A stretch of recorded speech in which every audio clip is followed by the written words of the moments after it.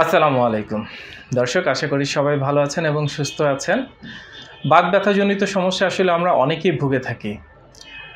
আমাদের ভিতরে একটা বদ্ধমূল ধারণা আছে অনেকের ভিতরেই যে বাত ব্যথা, এটা হয়তো একটা নির্দিষ্ট বয়সের পরে আমাদের নানি, দাদি বা যারা বয়স্ক মানুষ আছেন পরিবারের, তাদেরই সাধারণত হয়।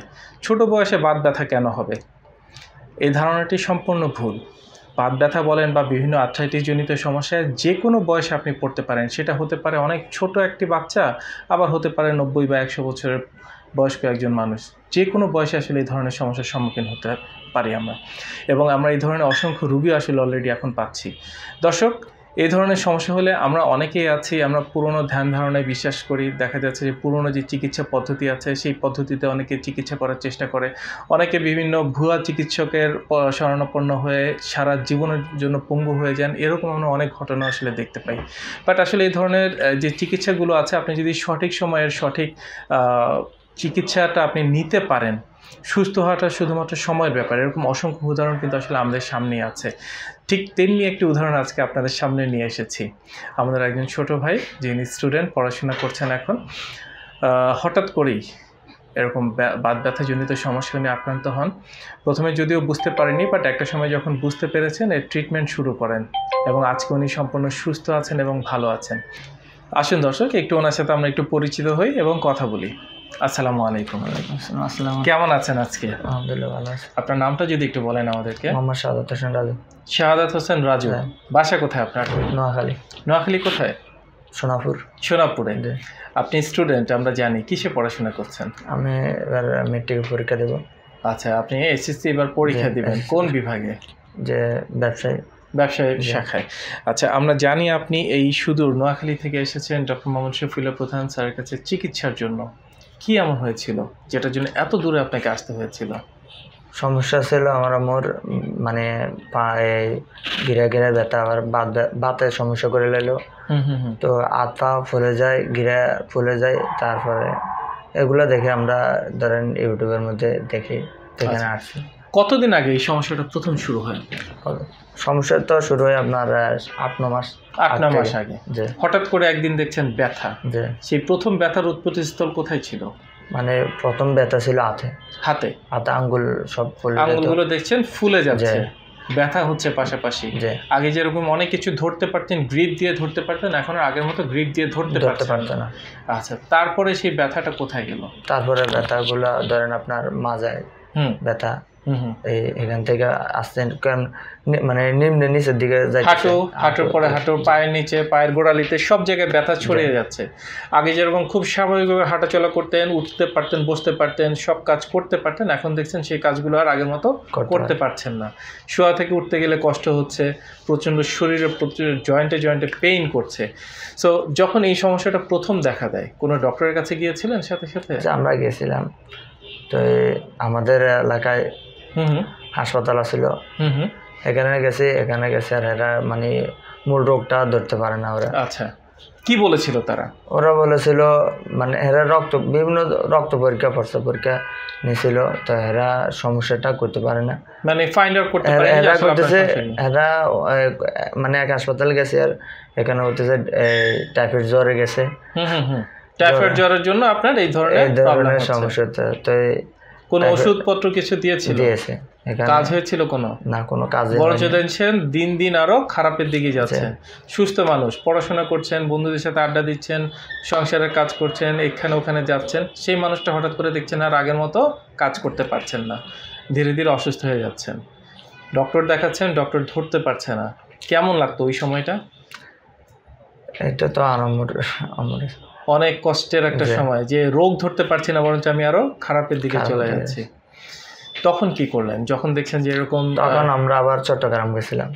চট্টগ্রাম সেন্সিভ সেন্সিভ হসপিটালে গেছিলাম। এখানে এরাও এরাও ধরতে পারছে বাপ আচ্ছা এই প্রথম আপনি আসলে জানতে পারেন যে আপনার বাতজনিত বাতের সমস্যা। হয়েছে। যে সুস্থ অবস্থা মানুষের বলে বাদ থাকে পনেরো পার্সেন্ট তখন মা- আহ, নের অসু- জেনে অসুস্থ।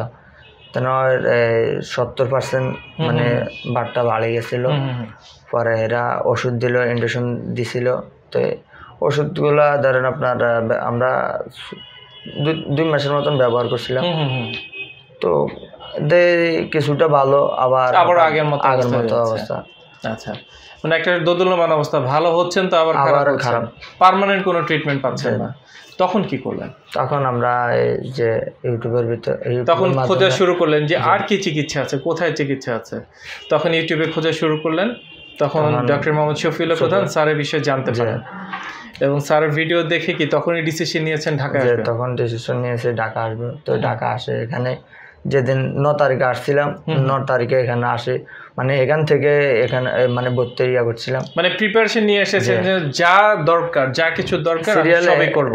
নোয়াখালী থেকে সিরিয়াল দিছিলাম এখানে। আচ্ছা এসে সরাসরি স্যার দেখেছেন এবং স্যারের আন্ডারে ভর্তি স্যার আন্ডারে ভর্তি আমরা ন তারিখে ভর্তি হই না মানে একদিন ইয়াতে আসছিলাম পরে ভর্তি হয়েছিলাম স্যারের আচ্ছা। মাধ্যমে।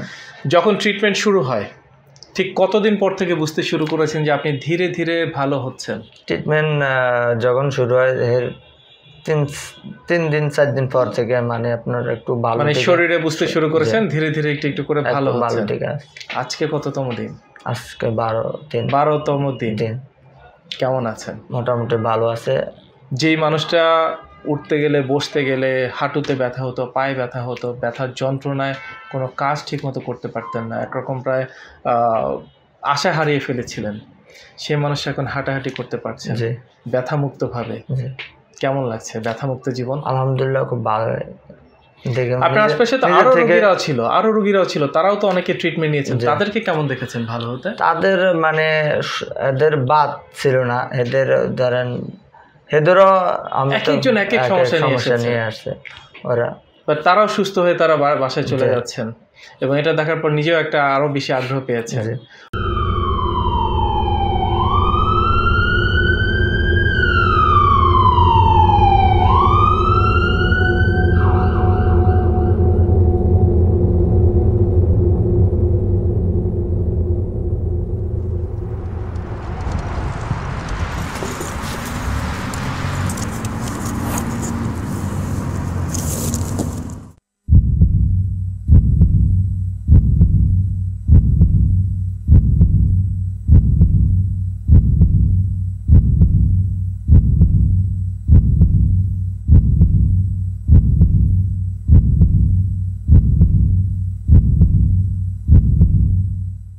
দীর্ঘজীবী হওয়ার প্রথম পদক্ষেপই হচ্ছে সুস্বাস্থ্য নিশ্চিত করা।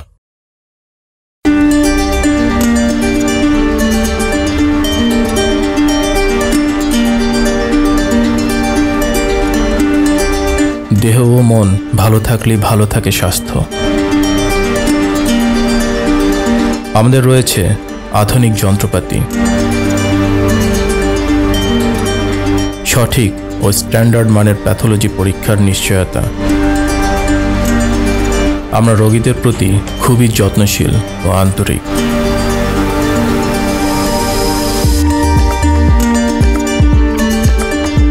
আমরা সর্বপ্রথম প্রতিটি রোগীর সঠিক রোগ নির্ণয় করি, এরপর রোগ অনুযায়ী অপারেশনবিহীন চিকিৎসা দিয়ে থাকি। আমাদের প্রতিটি ডক্টর, নার্স ও থেরাপিস্ট প্রশিক্ষণপ্রাপ্ত ও দক্ষ। আমরা প্যারালাইসিস রোগীদের নতুন করে চলতে শিখাই।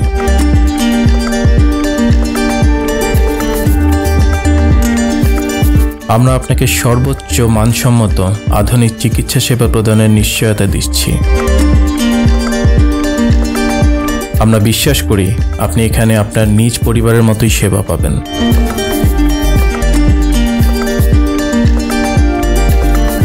বাত ব্যথা প্যারালাইসিস ও আর্থ্রাইটিসের একটি নির্ভরযোগ্য প্রতিষ্ঠান।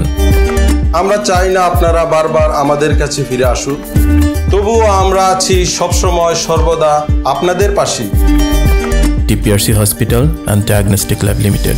আস্থা বিশ্বাস ও নির্ভরতায় অবিচল।